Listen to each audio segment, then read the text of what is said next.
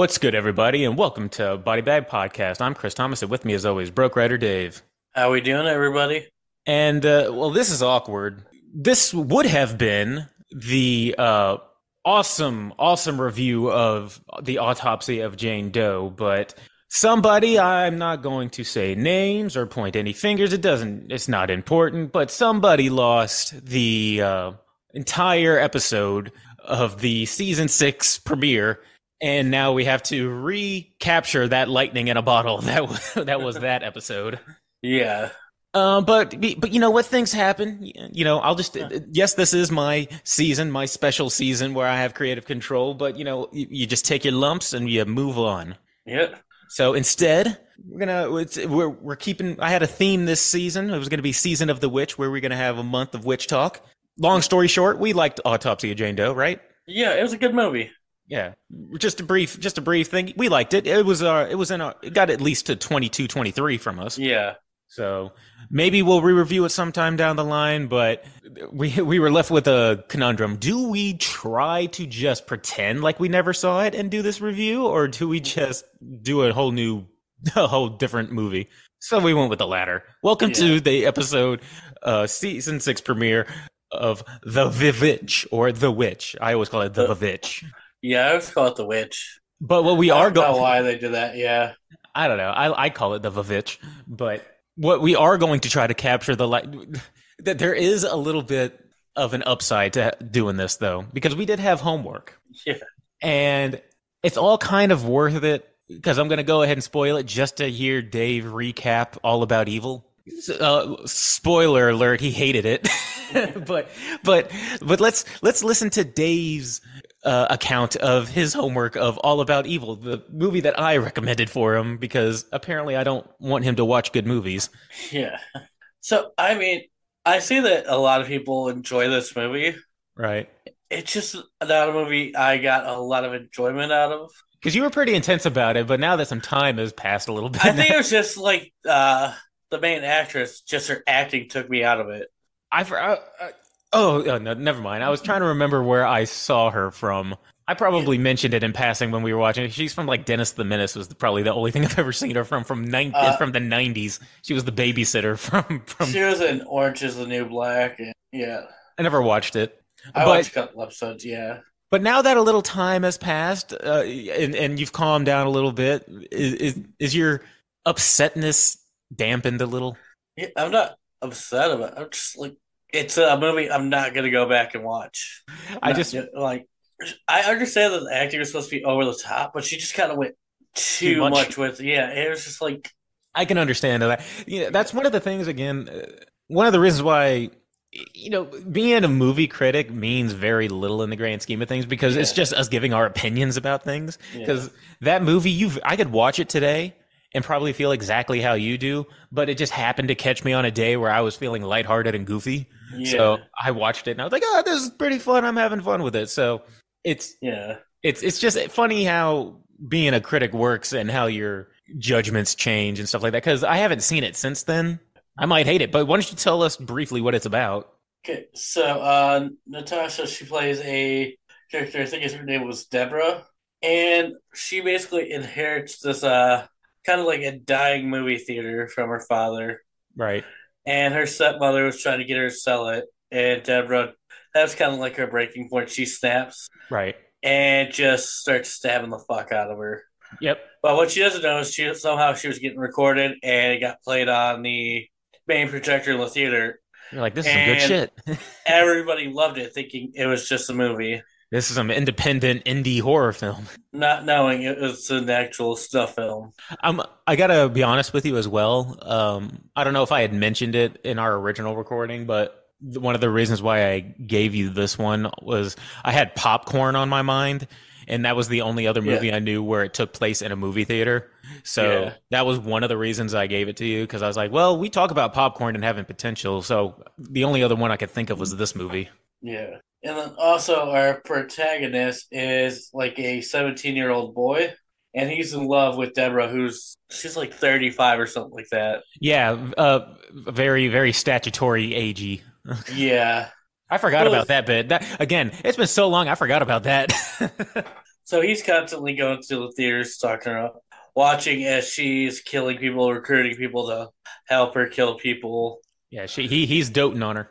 And very, this movie was made in like 2014, but they went into like this 90s, 80s cliche where if you're a Mhm. fan of horror, you're an awful person. Yeah. Oh, is that oh like oh horror people are like oh those people are like weird because they like like horror movies kind of thing. Yeah, because one of the girls, he took a girl to the theater and she ended up getting murdered there. And so she's missing, and everyone's like, oh, he took her to a horror movie, so he must be the killer. I mean they weren't too far off, I mean, but but uh, it's it's it's um I like, no. it's really f- funny for those who don't like i'm sure that there's probably some people who listen to this that aren't like diehard horror fans but it's funny we've interacted with enough horror people to know that they're actually the biggest sweethearts which Yeah. is which is why that's really funny it's like oh he must be the killer he took her to a horror movie There's something wrong with him Yeah, I'm just saying that trope hasn't been used since like the 80s or 90s, and I Right. feel like society's kind of moved on from it. right So they kind of brought it back and like, just why? That makes no sense. mm. Yeah, It does have that. Does I don't know if it's the filter that they use, but this movie does have like a a '90s TV show feel. Yeah, Like it feels like I'm watching an episode of Tales from the Crypt kind of feel. Like like that kind of. It's hard to explain, but it's as you're watching it, you you get that feeling of this feels like it's reminiscent of like the '90s. yeah, but yeah, and then ultimately he finds out that Deborah's actually killing people. He tries to save them. Some people end up dying, and then his mom ends up being the one to kill and take out Deborah. But damn it, if it didn't look good on screen. Yeah. So that is all about Evil, a movie I watched about two months ago. And that you that you're i'm sure you're not having that you're you're not happy that you have to recap it again yeah.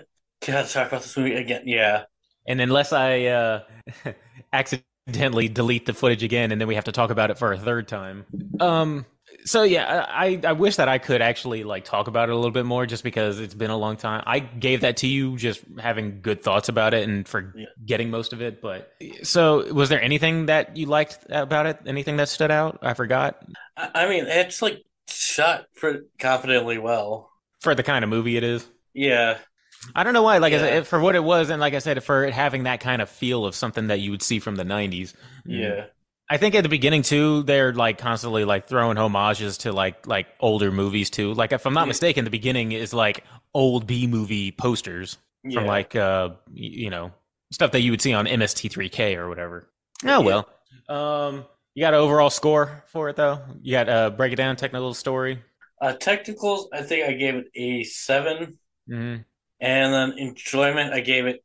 Uh, It's pretty low. oh, yeah, I think it was. Uh, Yeah, three or four or something. yeah, I think uh, story I gave it a five, and then enjoyment I gave it a four. Uh huh. So that would bring it to sixteen out of thirty. Yeah, so it's still kind of above average. Yeah. Um, but just not something you're gonna go see again. Yeah. Uh, for me personally, I'd say it's if you're gonna go watch this movie, it's don't take it seriously. It's not a Yeah. serious movie at all. So it's it's it's goofy. It's weird, goofy. It's acted goofily. So so just go into it knowing that. Now, me on the other hand, I was excited because I get to talk about Hell House and and apparently like since then since my first viewing and me going through insta hell house has get has been getting a lot of traction lately as people a lot of people have been talking about it Yeah. Uh, or maybe i'm just now noticing because i've watched it so a brief brief overview of hell house because i'll just go into basically haunted house a group of uh, it's a group of friends from up north. I think they're from. Uh, this all takes They're place in from, New uh, York, New York, isn't it? Yeah, they're from like uh, the New York City area, and they end up going like upstate New York. Yeah, they go out to the more countryside of New York. Yeah, Uh, which, when I went back and re- realized, that, I was like, oh, they're actually in New York. Yeah, I forget New York has countryside. yeah. Um, New York City's just a small part of the actual state of New York. Yeah. Group uh, leaves New York City, goes out to this Abaddon Hotel, this long since abandoned hotel that has a dark history to it that not the entire group knows about, but their ringleader Alex knows about it. But he knows something about it, but as far as they know, it's just a abandoned house, and they want to set up a haunted house in this place. Yeah, because that's kind of like their company. Is they go around different areas setting up They're like pop ups. Yeah, pop up haunted houses each year. Yeah, so and they they probably they make a decent living out of it, and they've been doing this for years. They keep the same group, and they then hire on like temps to play like the walkthrough clowns or the walkthrough all the actors and everything for the haunted house. Yeah, yeah, victims and whatnot. So this is a mockumentary found footage movie, which I like. I love yeah. found footage movies, and it's a combination of the found footage as well as eyewitnesses' account of the things that happened on this mysterious day, the grand opening of this Abaddon Hotel haunted walkthrough. And at the end of the night, it was left with uh, like multiple murders and dozens injured. Yeah. So all of this is recounting the events that led up to this night. Yeah. Um. So, uh, there. So most of this movie is them setting up this hotel, and shit starts getting weird. Nothing big with these kind of movies. It, it's really funny that with movies like this, the ghosts don't rev up and just go all out initially. They have to warm up initially. They they don't just go right for it.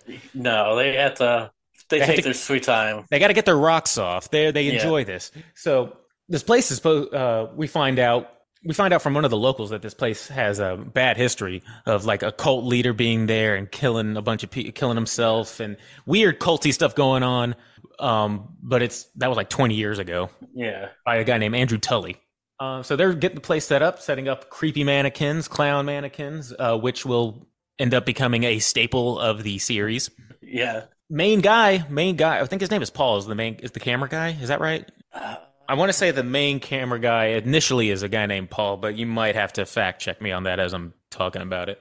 I know Alex is the uh, like leader of the group, I believe. He's the ringleader, but the first camera guy who's doing the uh, who who was documenting everything at first who's kind of annoying, who's kind of like the that fr- you have this friend. Uh, he's the pervert of the of the he group. He takes nothing seriously. Takes nothing seriously. He had a history of like bailing once or twice on some of the gigs, and he's like hitting on the female actresses. He's that kind of guy. He's like the goofy assholey kind of guy, but he's their goofy assholey guy. Yeah. We every friend group has him. So he's recording everything and shit starts getting weird uh, they do walkthroughs and like there's extra mannequins that are popping up out of nowhere. He uh, one night he wakes up in the middle of the night and he sees somebody who he thinks is uh, one of the female friends just lurking in the corner. Yeah. Uh, so little stuff like that it happens over the course of like two three days to the point where this guy's like, all right, fuck this place. Like uh, he's seeing clown mannequins move when they shouldn't. There's extra stuff popping up and and it's that classic thing of when somebody sees something, they're like, haha, nice prank, guys. Yeah. And it's like, I'm not, I'm not doing this. It's, it's, not a joke. Yeah, good one, guy. Which I hate that, like that trope. That's one trope I hate in movies where it's like, oh, they don't believe you, obviously. So. But yeah, Paul is the main camera guy. Ah, okay, so I was right with that. So Paul, played by Gore Abrams. Gore Abrams. I no idea who he is, but that's a dope ass name. Oh, I oh I I pronounced his name Gore Abrams. Like, yeah, y'all know who Gore Abrams is because I didn't know who Gore Abrams was. I was like, yeah, I. I was like, yeah, y'all know Gore really Abrams, dope, right? It just has a really awesome name. Yeah, for a horror movie, hell yeah. So gets to the point. This uh, camera guy Paul is like, fuck the uh, you know fuck you know fuck the I like he he wants to leave. One night though, wakes up creepy uh, was it was it one of his friends or was it a, a apparition of some woman in a, a woman apparition yeah woman apparition he thinks it's sarah's like sarah and then he sees it's not sarah's one of the friends in, in yeah. the corner and it comes after him and he's comatose now yeah He's comatose. He's he's he's nowhere to be found. They wake up yeah, the next morning. He's, yeah. he's nowhere to be found. More shit happens. More clown stuff moves around. Um, they think, oh, he's gone because he pussed out and left. Yeah. Um, next morning or next night, they're awoken by the sound of a piano playing. Go down, go downstairs. They think it's Paul fucking with them. It's not. No, he's nowhere to be found. They keep. Uh, there's more. You know, you can only see the clown yeah. mannequins move their heads so many times before you go fuck this. like, because yeah. this has happened like three times so far, where they see these mannequins can't move. Their heads are stationary, but somehow their necks keep moving. Yeah which is impossible, yet they still stick around. so uh, they eventually find Paul. He's comatose on the ground. Yeah, they find Paul the morning of the opening. He's just out of it. He's out of it, and now another guy is like, "Yo, fuck this! like, like, uh, I'm out of here." Yeah, I think it was eh, Mike either Tony or Mac. or Mac. He's like, "Yeah." I think it was Tony. I think Tony was like, "Yeah, I'm out of here," and, and he's and he's leaving. Mac or Tony like chases back. He's like, "No, you can't leave. You can't leave. You don't understand." Like, uh-huh. and, and camera cuts off, and camera cuts back. By the way, this is all. This movie is not also without that cliche of them going, "Get that camera out of my face," or "You can Yeah. stop recording." They give you. They have to stop the movie sometimes to be like, "This is why we're recording everything." Yeah, So at this point, cuts off, and he's sitting out there in the wood, uh, out in the in the middle of a field, going, "We can't leave." So we basically are the crew cannot leave for some reason, and they they don't know why, or, or well, they know why. We don't know as the audience why they can't leave. yeah. The only one in the crew that really knows why they can't leave at the moment is Alex, Alex and his one of his friends, and I think uh, Mac, who is kind of like the second. in second in command. Yeah. So long story short, they have to stay. They don't want to, but they gotta. Opening day, uh, Paul's comatose. Um, if I'm not mistaken, wasn't there uh, another per- like ba- basically it's the night of the uh, of the opening, grand opening. Uh, people coming in, and we see basically the accounts that we saw at the beginning of the movie, where something is happening, but we see it from a better point of view. Well, we see it from a better point of view, but kind of not because it's still shaky cam. This Hell House is a hub, basically a gateway to hell, essentially. Yeah, Andrew Tully, who was the cult leader from 20 years ago, his spirit and the spirit of this house and all of its victims is very much still alive. yeah, And it's like an ongoing and a living entity. Hence why the clown mannequins move and fucking they see apparitions of people. And we just see the chaos ensues. We see uh, Alex at one point getting hung in the attic. We see people getting stabbed. We see what looks like a gateway to hell opening up in the basement. and people in hooded And these people in, hoods yeah, just people- come out of the wall, and the poor actress is just screaming her head off, like, "Help me, help me! This is not part of the show." There was a guy who was hired as an actor to be down there specifically to protect her, and he bailed. he took off, He's and then they're like, "Oh, the poor guy. He couldn't live with guilt. He killed himself two weeks later." yeah, and essentially that is basically the story of Hell House. Is oh no, because the ending bit I forgot the, the big ending bit. Yeah, basically, we're getting all this narrative through Sarah a year later talking to a reporter. Yeah, Sarah is one of the friends who was uh, part of the group. Yeah. And Sarah basically tells them, you guys really should go check out the Abaddon Hotel. Yeah, she's doing this interview for this reporter who's doing this report on the on the Hell House, and she's just kind of like damn near catatonic the entire time she's being interviewed. She's answering, but she's very like thousand yard stare kind of as Yeah. she's and she says you you should you should if you really want to get the story for Abaddon, you should go there Yeah, she's like, I'm gonna go rest now in my Uh, room 2C. to see and but she leaves behind uh this group of tape uh, this bag of tape. She said I, these are all tapes from the night of the uh the night that it happened of this massacre as well as all the footage that led up to it. And she's like, why the fuck do you give? Why didn't you give this to police like a year ago when all this happened? Like what? And uh, so the porter goes to she, she the Abaddon has since been closed down again, and it's like closed up with you know police tape, and it's just run down. She's like, all right, uh, yeah, let's go bust in. We go in. They go in, and they're looking at all the places inside that they've seen from the footage, and then they go upstairs and they see two C on the door.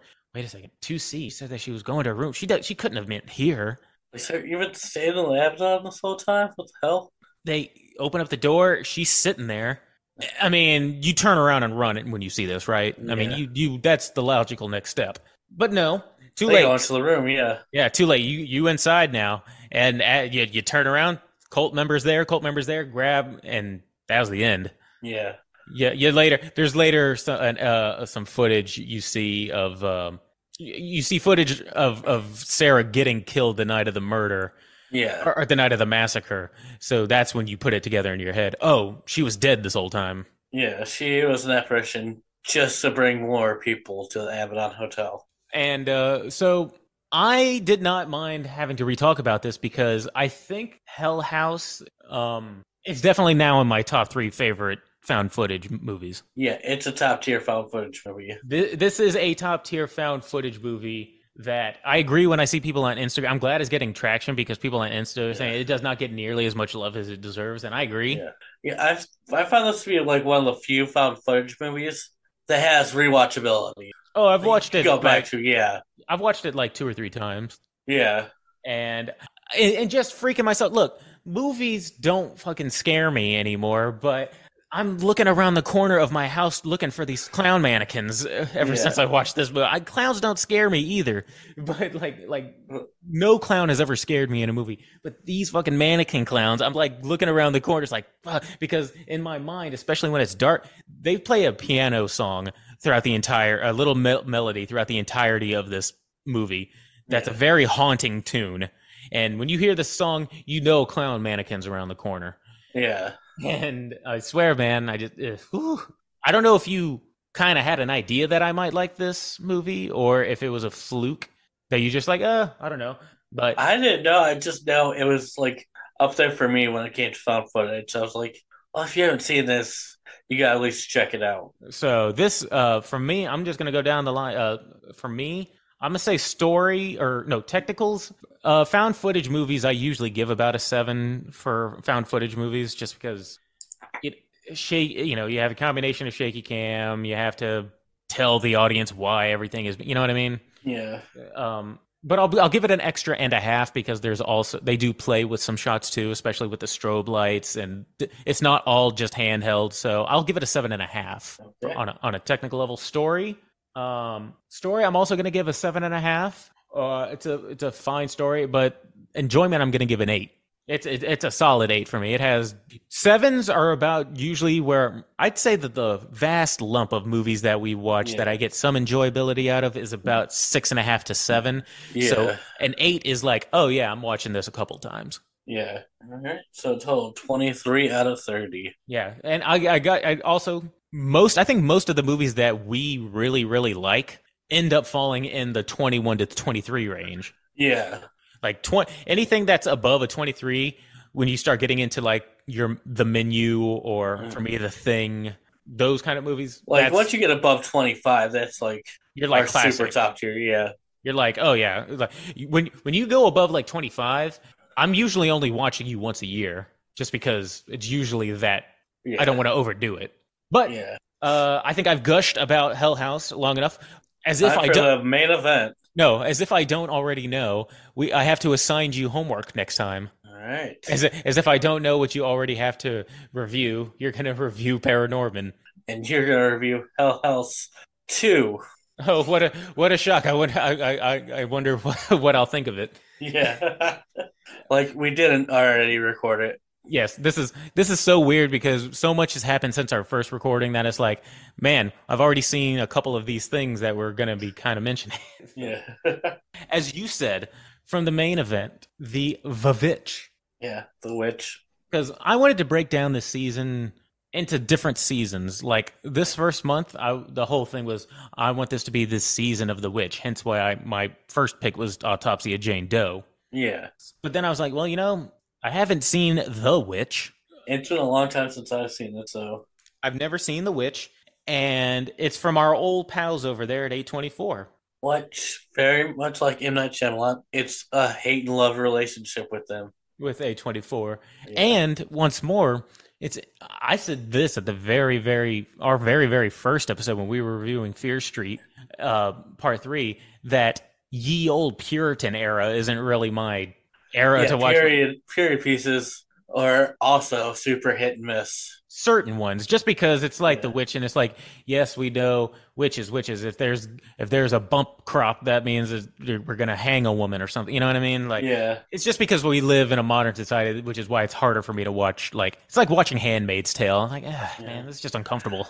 Yeah, what I kind of enjoyed with this movie is they just kept it within one family. Yes, that definitely. That's all we focus on. It's not a whole town going after each other. Just one Yes. family. Yeah. Yes. So, um, if if you don't mind, I- I'll go ahead and get us started, and I'll throw it to you because, um, well, first off, a little bit of you know back background for this. Uh, this was Anya Taylor Joy's first movie. I did not know that. This came out before Split. This was her very first movie. Yeah. I could have swore Split came out before this one. Uh, I think I looked up the the wiki, and she was like 17 because this came out in 2000. This came out like 10 years ago. She's 27 now, so she would have been like. This came out. Uh, well, it was released at Sundance in 2015, but came out in theaters in 20. Oh, so it would have been even younger. So yeah, she, that you said 20. You said 2015. Yeah. Uh, so that means she would have been record. Uh, they would have done it when she was uh, 2014 to 15. Yeah. So yeah. So this was her first movie. Split came out the next year. Yeah. Well, they were both released in 2016. So. But yeah, so yeah, this is Anya Taylor Joy's first movie, and uh, I have since you know this movie's been released. Anya Taylor Joy has become one of my uh, favorite in the horror category, or just in terms of actresses in Just general. favorite. Yeah. If I see her on something, I'm gonna watch it. So, um, and I'll just go ahead and say, um, she was just as good an actress, uh, you know, starting in out. her first movie. Yeah, like she she crushed this role. So So I'll just go ahead and t- say that. I'm just going to go ahead and say that everybody, including the kids, despite the kid characters, everybody, this movie was acted very well, yes. um, especially by the kids, because the kids arguably had more that they had to do. Yeah. Um, yeah, so that was a, and again, we said this was an A24 movie. This is the early years of A24, by yeah. the way, Directed by uh, Robert Eggers. uh, of Lighthouse fame and this Yeah. movie fame. Has But- he done anything else? I know he's doing the uh, new. Nosferatu. Yeah, but what else He- has he done? I think he has like one or two other movies under his belt. Uh, the Northman. yes. I haven't seen that. I think he has like three, three to four movies, but they're like he has a distinctive style. Okay, yeah. So Nosferatu is going to be his fourth movie. He's because all these movies he directed and wrote. So which I which I'm looking forward to. By the way, I'm looking Yeah. forward to this because um, it's funny that we're reviewing The Witch because we're also reviewing The Lighthouse next season, and or not next season, but next month. Yeah. And I've I've mentioned how my feelings on it, but this one. Um, well, you know, it, it's it's cool. We're we're talking. We're giving a lot of love to Eggers, basically. Yeah. is what we're, what we're doing. Robert Eggers also someone kind of like a love and hate relationship with his movies. All right, so getting into this movie, the only thing I knew about this is I have heard the term Black Phillip, and I knew Anya Taylor Joy, and that is all I knew about this movie.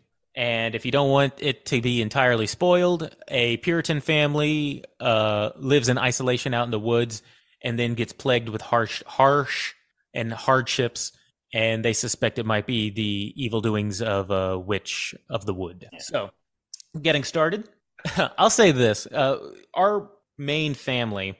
I don't think they have a last name, or if they did, it wasn't mentioned. But it's William is the name I believe of the father. Uh, Thomasin is Anya Taylor Joy, and Catherine, I believe, is his wife. Yeah, this is the wife, and then Caleb is his oldest son, but a couple years younger than uh, Thomasin. He's like uh, in his he's like pre he's like entering into puberty, kid. Yeah, and then there's uh, a pair of twins younger than him, Mercy and Jonas, Yes, and then they have a baby named Sam. yes, and And this family, they're uh, they leave the this this they leave their colony because of uh, they're asked to leave because they're asked to leave. too strict in their religion for What the you- 1600s. You, I was about to say, you know, you got to be intense if you're getting kicked out by the Puritans for being too religious. Yeah, in 1630. So this is what, like 40 years before the witch trials. Yes. Yeah, Um. So they get kicked out, basically, which is weird because you would think in the 1600 Puritan they would have just killed them and said, yeah, they were witches, but they kicked they kicked them out, and they basically are living out in the woods by themselves or a patch of land by themselves. But winter is upon them, and they have not been having a good run by themselves. other corn harvest is not good, And and, then- yeah, yeah, and 10 minutes into this we get baby kidnapping. It's like 10 minutes in that like 10 minutes into this movie we have seen this family get kicked out set up shop and um, Anya Taylor Joy's so they're playing peekaboo with the baby. baby sam Yeah, and then she go, she looks away for like not even like five seconds. Looks back, baby's She's- gone. yeah she's doing peekaboo. She uh, she she like closes her face to do a peekaboo and then does the peekaboo and then baby's just gone. It's just like like what it, she like looks up and there's like no one to- around. It's like where where'd the baby go? Yeah, and then we see what happened to the baby and it ain't Yeah. good. No, We we But- see well, first off, there is no question witches exist in this universe. yeah, we see the witch with the baby. butt ass naked old hag witch. These are your butt Yeah. naked hag Yeah. witches. Like, um, who she took. Uh, I saw what she. When you see this scene and the way that it's set up, you're like, they're not about to. and they go, no, they're about to. and they do it, yeah. yeah, because you just see this baby sitting, uh, laying up on this altar, as as this as uh, you see a hand like kind of caressing like the head, and then then you just see you, you don't see it happen, but you see this this this witch bathing in blood. Yeah. I was like, damn, that's an intense way to get your movie kicked off. Right? And the family is now, of course, in mourning. They believe that a wolf uh, snatched up the baby when Thomasin wasn't looking. Yeah. So ever since this happened, the mother, Catherine, she's been just kind of pissed at. Well, she's been crying, of course, Yeah. Uh, as any mother would, but she blames Thomas and says you should have been paying attention. That whole Yeah. thing. Yeah, and from here, you see this family start to spiral. Like, as things get worse and worse, it's the father saying, This is God giving him this hardships to test our faith. At this But point, really, they're just yeah. being cursed by the witch. at the, the which I think is a very interesting take on the witch because usually it's the other way around when you tell this Yeah. story. It's like, oh, all this stuff is happening, and it's because we think she's a witch, but witches don't exist. It's like, no, in this one, witches exist. But I will say, no, I'll, I'll, I'll save this thought for later. But continue. Yes, they, Yeah. yeah, the the father just keeps saying we just need to pray, and we pray hard enough, things will turn around. And uh, the father takes Caleb out into the woods where they're not supposed to go. It's basically, like, the family don't got food, so they're going to try to hunt for some animal. Yeah, and I guess he's thinking like, some like I know we say not to come out here, but desperate times, I need your help. And, And then the father kind of confesses all his lies that he's told to his son. It's like, hey, need you to hold those lies for me. he basically informs him that um he had they had to or his father ended up having to sell his wife's uh very valuable cup. I guess it was a Yeah. it was a family heirloom, but it was worth a bit of money, in because he needed money to buy supplies to For the goat and stuff like that. Yeah. for, yeah, and to buy like uh, hunting supplies. And Oh. basically, this is like a metaphor of like the father corrupting his son. Yes. And they're hunting. All the traps they laid out got sneered but didn't catch anything. And then they see a hare. And the father loads the rifle and it blows up in his face. Yeah, I guess I guess uh, something went wrong with the flint and sparked Yeah. up in his face. Yeah.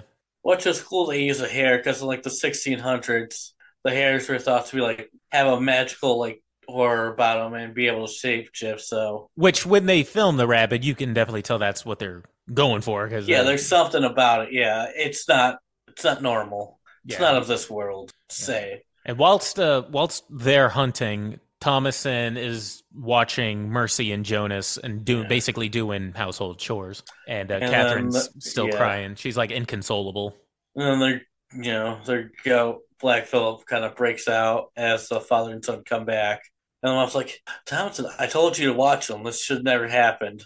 Yeah, this mother has it out for Thomasin because Yeah. she just she just blames Thomasin for Samuel the baby dying, even though she there was nothing she could do. Yeah. She just needs basically someone to blame. Yeah, and then she's like, Thompson, get the fuck out of here and go wash your dad's clothes. Yeah, pretty much. Just that- that's why I had to like look back with the way that they kept talking about Thomasin. I was like, is this just like a hired hand that they have or something? Because like, isn't this supposed to be her daughter? Why is she adding like her daughter's like a uh, like a hired help hand? You know what I mean? Like, Yeah. But then again, you gotta think about the 1600s. That's kind of how women got treated.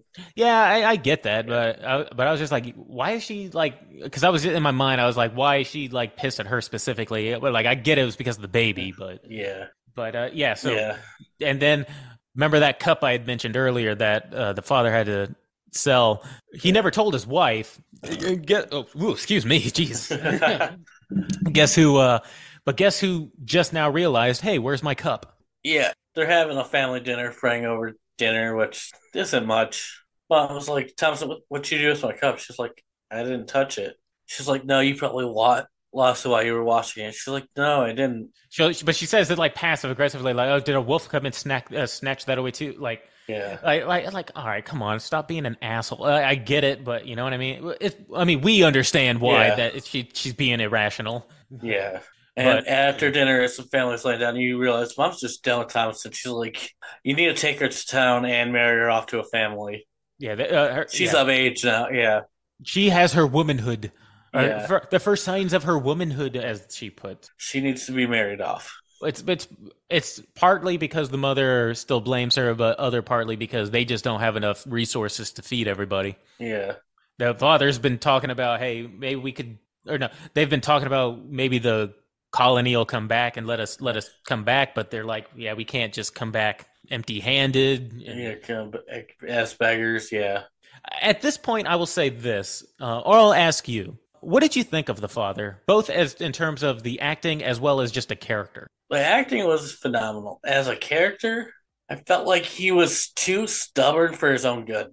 I kind of, I, I, I will say this. Yes, the father's the the again, all the acting, everyone's acting their ass off in this movie. Yeah. But the father, I liked the layers to him because he obviously is a very pious man, Yeah. very religious, very Old Testament. You know, I'm that's the only thing my children read is scripture. Kind of is kind of father. But I don't know. You could tell that he also really does care about his family, though. He's not like Yeah. he's not sitting there beating his kids, No. but you could tell he's very strict. Yeah. But and he does have the interest of the family as a whole in mind. Yeah. Tell, he definitely cares about his family. He's he's not like beating him as normally a character in the same age be like portrayed. He's not the insufferable right hand of God that I thought his character was going to be. Yes. He's not like Miss Carmody from The Mist, which is what I thought we were going to get. Oh, it's stuff the Bible. No, like he shows that he's not afraid to show his kids that he isn't perfect either. He says, "Hey, look, I'm filled with sin too." Yeah. I mean, that doesn't change the fact that he's going around basically telling his kids that they're born sinful and everything. But I mean, Yeah. he it's it's his whole testament. I'll just say this: for a person who got kicked out for being too religious for that Puritan colony, he sound he's probably the most liberal sounding Puritan I've ever seen. right. Like uh. At least in the beginning, I'll say. Yeah. So so yeah, she blames Thomasin. They want to send Thomasin away, a because the mom's mad, and b they don't have enough mouths to feed. Like they thought the kids were sleeping, but Thomasin and Caleb both kind of hear this, and Caleb's like, you know what? I'm gonna man up for this family. I'm gonna go sh- get some animals for a seat. Yes. And at this point I'd like to just kind of talk about the dynamic of the siblings real quick because we have Yeah. we have had five kids. Sam got taken away. We have four. We have Thomasin, Mercy Jonas and Caleb. Caleb is okay. Caleb and Thomasin are obviously like the closest. Well, no, the two twins are obviously close, but Thomasin and Caleb are close as the older. Yeah, they're Uh, the older kids, and they're kind of They have a bond. and slightly, yeah, slightly different part. Like Tomlinson already understands her role and responsibilities in the family, yes. while Caleb is still learning that and maybe taking it on more than he should at times. yes. And then you go down to the two twins who don't really have much uh, in roles of like responsibility for the family. The two kids are basically there to remind me why I don't like kids. Yeah, Um, they are basically basically they're just call uh, Tomlinson a witch the entire movie. they're calling Thomasin a witch, and they're basically there as instigators.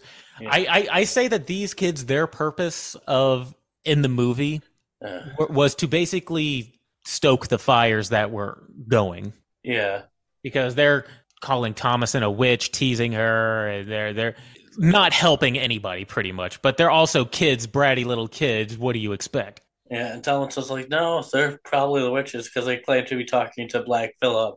Yeah, the, the most the entire time they're like talking and messing with a goat that they call Black Phillip. What Uh, led me to, uh, I think, right around the center times when a really interesting scene happened. Where the father's like, all right, let's all say the Lord's Prayer. And as they start, the twins go, oh, we don't remember it. Well, that's later. Is it? Yeah, that's much later. I thought it was before uh, what happens to Caleb happens. No, that was during the Caleb one. Was it?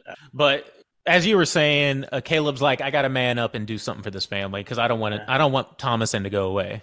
Yeah. And then Tomlinson's like, hey, I'm going to go with you or I'm going to wake up the parents. Yeah, that's that's the thing. A lot. Of, there's a lot of complicated layers to these characters. Like she's Yeah. she wants to obviously not be obviously not leave, Yeah. but she doesn't want her brother to get in trouble either.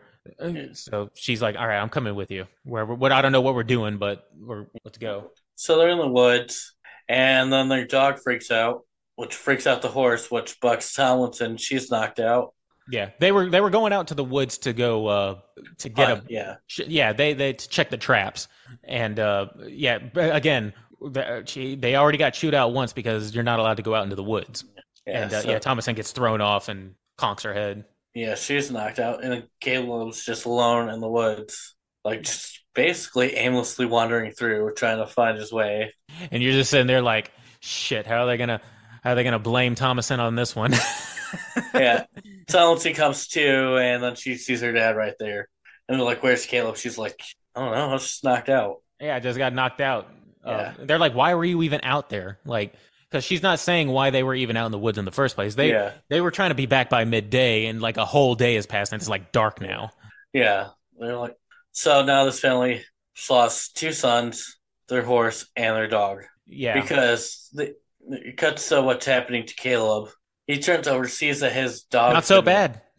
oh no, well, yes, his dog has been gored. completely, yeah, completely gutted, and he runs, and then he sees this rundown shit with a uh, witch in a red robe. Hold hold on, everything. Hold on though. Maybe maybe this ain't so bad. Yeah. because I, I remember writing this particular. This is something I would like to talk about. Um, and being lost yeah. might not be so bad. yeah, and Caleb's like, "You can't tempt me. I'm God. You can't tempt me."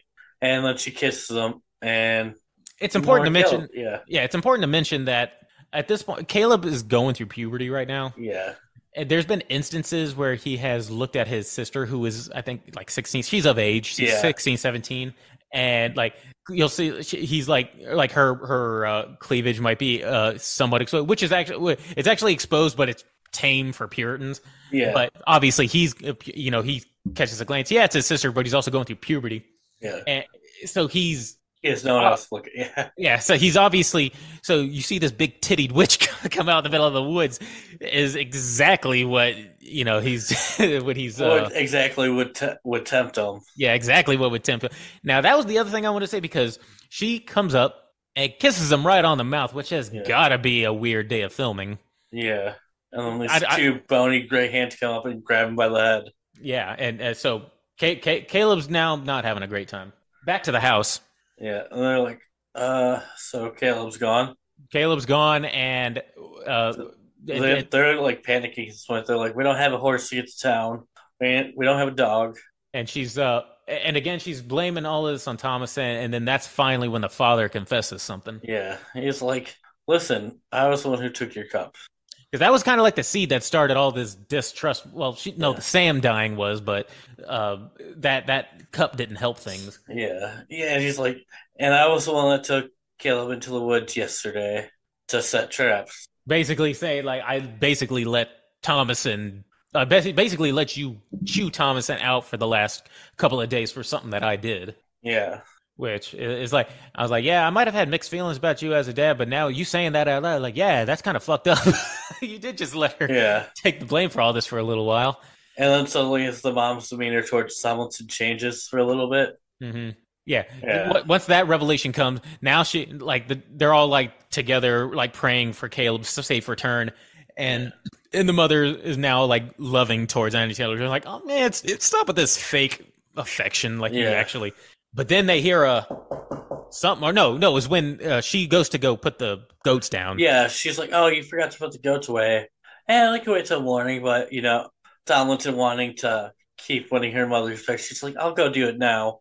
Yeah. She goes out there. Caleb's just out cold, naked. butt naked standing out in the rain, which again is one of the reasons why. I, well, between this and the next scene, even the kids are acting their ass off in this movie. Yeah, because he's out there and they they take him away to the attic. I think it was the attic of the of the cottage, yeah, and on, yeah, he is pale as a ghost laying there. He's Yeah. like out of it, like uh speaking he- gibberish yeah. and just the family is, is praying for them praying for him and the mother is now talking about caleb's uh, this is witchcraft this is witchcraft And the kids uh, are obviously still poking and prodding by saying that it's thomasin yeah. And Thomas is like, "No, they're the ones who talked to Black Phillip." this is when that scene comes up that you were talking about Yeah, which I thought was pretty clever because in like witch lore, they can't say that prayer without pain. so having the twins be like, "Oh no, we we don't remember this prayer we say every day." Yeah, because Thomas, uh, because because Caleb is like they're praying for his soul here, Yeah, and they're you know like the father has. This is another reason why I seen that made me like the father was that any other Yeah. father would the, the what the kids are saying that Thomasin's a witch, Thomasin's a witch Yeah. would have immediately like backhanded or burnt his like daughter, but he's like he talks to his daughter and he says, "Do you love the Bible? Do you love prayer?" And she's like, "Yes, yes." And he's like, "I've not raised any witch in this house." yeah. Yeah, I was like, I was like, oh, he actually listened to his daughter. Yeah. Did- And then he kind of takes his three remaining kids and locks them in the barn. well, after Caleb, Caleb has one more. Sp- he's like choking on something to the point where the dad has to take a knife and pry his son's jaw open because it, it's he's like lockjawed, Yeah, and and, and his son an apple. a rotten apple core kind of th- a ro- whole rotten apple, Yeah, and which you know from his lie the day before, saying, "Oh, we were out there because I thought I saw an apple." I didn't even put that together. Yeah, I, I didn't put that Apple uh, thing together because he lied and said that he had at the very beginning when they came out from the forest, he had lied and said, "Oh, the only reason we were out there is because as I saw an apple. Yeah, that it might. Uh, I thought I saw an orchard and we could have had it, you know, for the family." But he basically was covering for his dad, yeah, and so Caleb basically he he blasphemes and then he dies. yeah, And then the at this point, that's two kids down. The kids are calling each other witches. The father takes them and puts them in a barn. uh, yeah, He's talking about how he'll if he finds out uh, once he gets to the bottom of this, he'll kill whoever. This is the Puritan father I was thinking of, where it's like I'm gonna Yeah. kill whoever I find as being a witch. yeah. Really, everything's going so off the rails now. He's becoming like super into his like. I should probably get my shit together before I die. Now they don't know what to do. The dad is like, let's, let's take everybody, let's take Thomasin, sell her off, bring back some stuff for the kid. Like he, he he's still trying to salvage what's left of this family. She is saying how they're basically fucked because they're, Yeah. you know, it's under the witch's curse. And because they got locked in the barn, they had a second to cool off. So now Yeah. the the sister Thomasin and the kids are like, "Are you really a witch? No. Are you? No." it's like it's Uh, just and, and the dad has has his own little mini confession out by the barn yeah, as he's cutting more firewood. Yeah, and he's like i i did this and i did this to my family i'm like yeah, yeah kind of a little bit i mean not yeah. all of it not all of it but i mean a good Yeah. some of it they are in the locked in the barn right now but um neck and then the, a very a24 night happens where a very trippy dream sequence of um catherine who hallucinates that she sees her dead son caleb and sam uh and then she goes to ner- she's like hypnotically in a trance right now yeah. They're, basically, she gets tempted with being able to see her two dead sons again. and goes to nurse samuel and then Yeah. you come to realize that it's a uh, and only at a24 way you find out that it's a raven pecking at her breast Yeah, which it sounds weird and it is a weird scene but it makes sense in context when you watch it. Um, yeah, or maybe not but it made sense to me when i was watching it. But next morning william dad wakes up. He's like all right. He this poor man he wakes up. You know he's probably like all right i have a long day ahead of me. Of, of, of, of figuring out what to do. Goes downstairs goes outside and this is very much like that scene from hereditary where the mother wakes up in the morning and goes out to the car he just sees the barn a mess yeah. yeah, and were were the two kids uh disappeared or were they all bloodied corpses? Uh, I think they disappeared. The two kids are gone, but uh Anya Taylor Joy has blood on her hands or is covered in blood, but she's knocked out. She's like she was coming to. Yeah, And the father it, it- seeing his facial expressions is the funniest thing. yeah, Just him walking outside, seeing the barn, seeing Anya Taylor Joy, and just let all of the thoughts accumulating in his face. yeah. And, and then he's uh attacked by Black Phillip. Yeah, random goat who got out again. Yeah, knocks him down again, and then this time headbutts him into Splitter, which you know finishes the job. Yeah, he they, he like cracks. He like when he he got him like in the ribs and like cracked his rim and got his lungs or something when Yeah, he when he rammed into him. and then the mom is like this is all your fault, Tomlinson. Yeah, all she comes out and she sees the her husband dead, the kid's gone, and just a bloodied Anya Taylor Joy, who she didn't Yeah. like in the first place. Yeah, so they get into a struggle where the mom's strangling her. Tomlinson finds a uh like a butcher's cleave. it was a bill hook.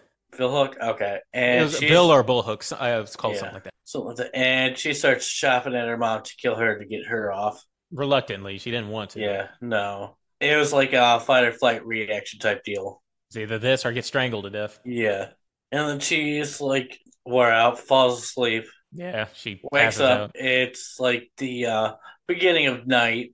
Yeah, it's, it's dusk. Yeah, and basically she ends up getting tempted to becoming the witch that her whole family claims she was in the beginning. She goes out to the barn and probably just not even really, really thinking about it, probably just doing it in passing. She goes up to the Black Phillip goat, which the twins throughout the entire movie said that they could talk to.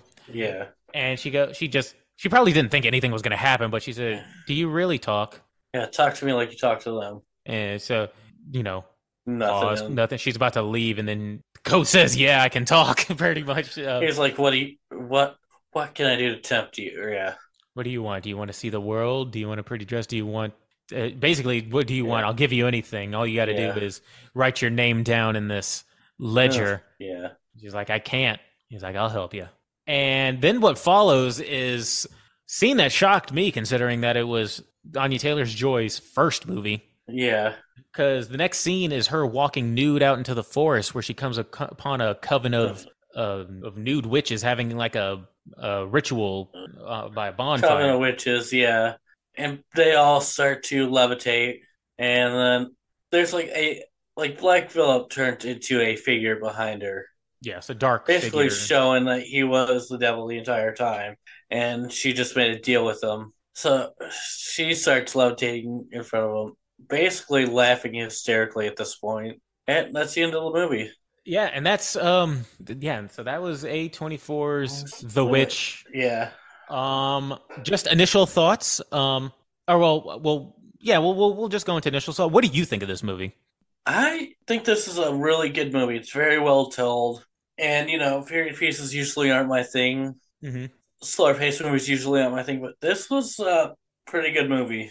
I would probably say that if it wasn't acted as well as it was, it would probably piss me off. But the, Yeah. the the because because I'm the same way about Ye Old Era, but everybody in this movie was acting so well that I I I was like man, and that and they had layers too. Even the dad, Yeah. I was like, yeah, I mean, this guy's kind of liberal for a very Puritan, like too pure for the Puritans' father. Yeah.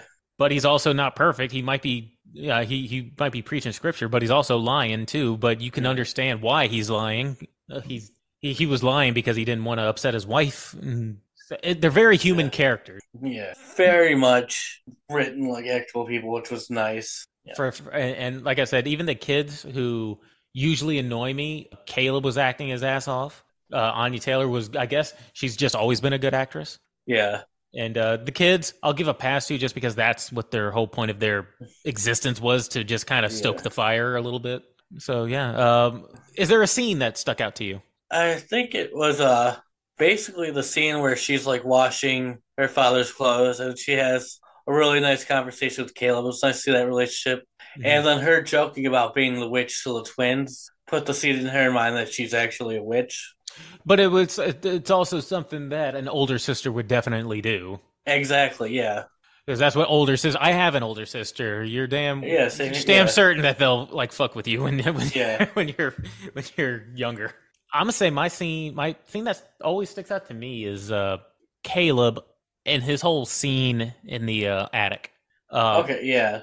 because a having to memorize all that ye old scripture as well because he's basically quoting scripture and blaspheming and doing all this stuff as he's like Yeah. convulsing but uh, like he's he he's putting us all in that scene Yeah. so uh that scene yeah because little little kid was hacking his ass off he's i'll put that on par with uh with exorcist in terms of giving flowers for performances Oh yeah. He definitely crushed it. Yeah. uh all right let's break this let's let's break this thing down All right. um oh and i'll yeah so technicals what are you gonna give it I don't always like Robert Eggers movies, but he's always he's a master behind the camera. he's a very good cinematographer Yeah, he's really good. So I'm gonna give it an eight point five. An eight point five. Yeah, That's about what I gave. I gave it at eight. yeah. He Um, he's he's just really good behind the camera. Story, on the other hand, I give an eight and a half to. Story, because I also put that in terms of uh, acting. I put the acting in story, Yeah, and I put uh, Yeah. when you peel back like the layers of it. I, th- I think that's a good eight and a half. It's a good story. yeah. I I'm right there with you. Eight and a half for the story as well. It's just a very well told story with well developed characters. hmm So yeah, Because I was Eggers expecting, crushed it with his writing in this movie. Yeah, and which is I'm very glad that I watched this because uh, oh, I'll I'll go into that for enjoyment. yeah. So enjoyment. This is one of those rare cases where enjoyment's actually less than my uh less than the story. Like I said, it, this is still a period piece, still a little bit slower. So for enjoyment, I would seven. I put seven and a half. It's still lower than my story. Yeah, because I I gave it seven and a half because I was going to say because it is also in the period that's not my cup of tea, but a seven and a half for me, given that, is actually praise because I still enjoyed it given the time piece. Um, I'm not against time period pieces. It's just that particular era. It's, it's Yeah. that particular era and that particular setting. yeah. Like 1600s in like London is a different thing. You know what I mean? Than 1600s in Puritan place. So Even though it is a period piece, it still gets a 24 out of 30 from both of us. yeah, very good movie. Great movie, yeah. it's it's worth at least uh, again if you're not into period pieces like I am, it's still worth at least a watch just to watch it. It won't piss you yeah, off. it- it's a good watch. Like, I know I could go back and rewatch this movie, Hmm. but I don't know if I'll put it in like a yearly rotation. Maybe once every couple of years, I'll go back and rewatch this. And uh, one thing I wanted to add to these reviews is best watched. Uh, I don't know if I did it in the first one, but I want to kind of introduce this. Like, what is the best way to watch this movie? For me, I caught it at the perfect time. It gets dark here about six o'clock. It's usually Yeah. dark here at six. Four o'clock, the sky was gray, as was the movie. Yeah. So four o'clock on a nice cloudy day is the perfect uh, for me is the perfect way to watch this movie. What about you? Yeah, for me, it's like right as the time, as like, you know, the sun's getting ready to set. Not pitch black yet, but it's getting there. Yeah. Dusk. It was cre- creepy. It was gave it some ambiance, and uh, that's how I watch it, though. All right, so are you ready for some of the rotten reviews? Yes. Tell me some of these rotten reviews. All right. Now I'll, I'm gonna guess that because this is A24 and this was the early days of A24, that they might say that it was too weird. So Ryan uh, from the Reader said the biggest magic the witch has to offer is making 93 minutes feel like the rest of your natural life. I guess that's a guy who doesn't like slow burn movies. Would you say this is a slow burn movie? There's stuff usually going on in every scene. I think it's paced very well, Yeah, but I could see like how it could be. Uh, I it, it's definitely for a certain. If you're Yeah. if you're the kind of person who likes horror movies that it's like very upbeat, very fast. paced This isn't that. This is a slower paced movie. yeah, but this movie still gets you hooked in like the first Yes, 10 minutes. But yeah. there's no, but there's never nothing going on.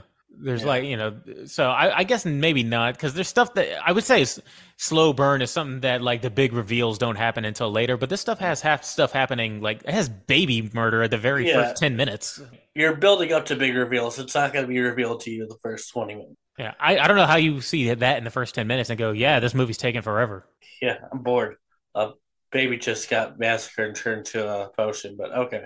Then you got CJ Prince from Way Too Indie. Rather than try to establish any tension, Eggers prefers to utilize poor jump scares sporadically between artfully composed shots, all of which amount to little. I don't think there were any jump scares. Yeah, like The only jump scare I can think about is maybe Black Phillip hitting him in the end, but yeah.